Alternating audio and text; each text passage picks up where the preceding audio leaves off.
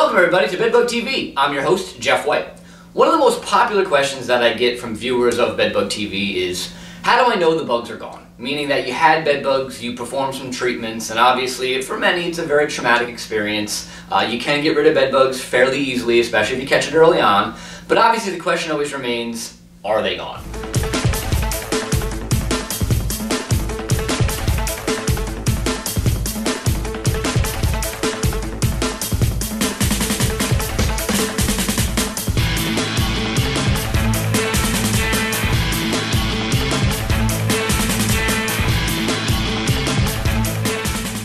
Lot of times people can react, even so you know, like um, people that I know, for instance, get bit by bed bugs and don't actually show the reaction for up to two weeks afterwards. And so you could receive a treatment, hope the bugs are gone, and all of a sudden you see a bite on your arm a week later. You do an inspection, you can't find anything. You start asking yourself, well, why am I reacting? Are the bugs gone? And so what I want to talk about is just some quick things you can do to confirm that the bugs are in fact gone. And honestly, the first thing is, of course, just a visual inspection. Uh, pretty basic and, and, and self-explanatory. Stand the mattress up, stand the box spring up, make sure you get to the bottom of that box spring. Uh, obviously that's the most common area that bed bugs do hide. Um, if you have encasements on your mattress or box spring, that should make the bugs even easier to see. Uh, if you have any questions on how to properly inspect a bed or the role and, and position of bed encasements and bed bug treatment, we will link those videos in the description. Uh, you can go see how to do those properly. But the bottom line is it always starts with the visual inspection. Now what we know is that it's very easy to miss bed bugs if there are only one or two there. And so the visual inspection is obviously not the end all be all when it comes to whether or not bed bugs are still there.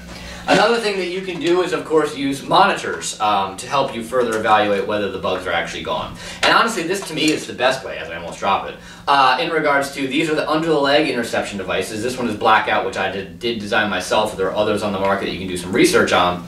But by putting these under the legs of the beds and couches, these will detect 95% or more of all infestations within two weeks of installation.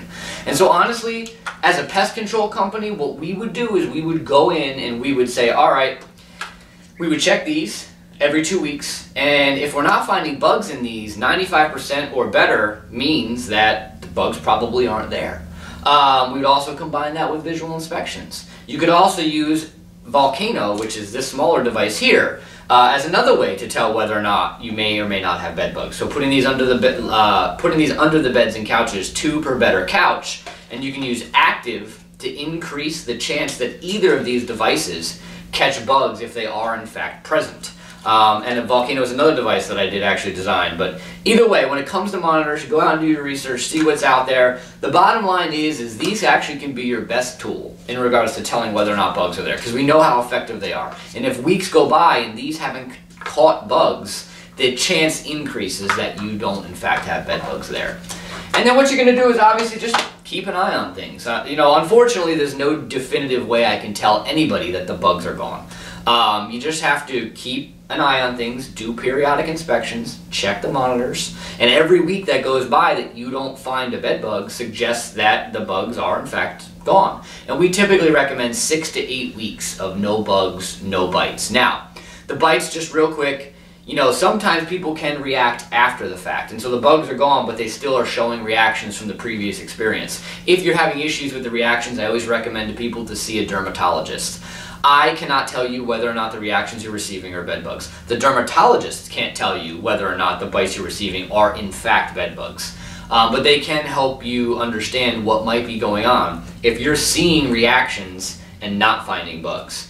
You know, just because you're getting reactions doesn't necessarily mean that there are bugs there. Obviously, that's not a good thing, but it doesn't mean that they're definitively not there, or there, I should say.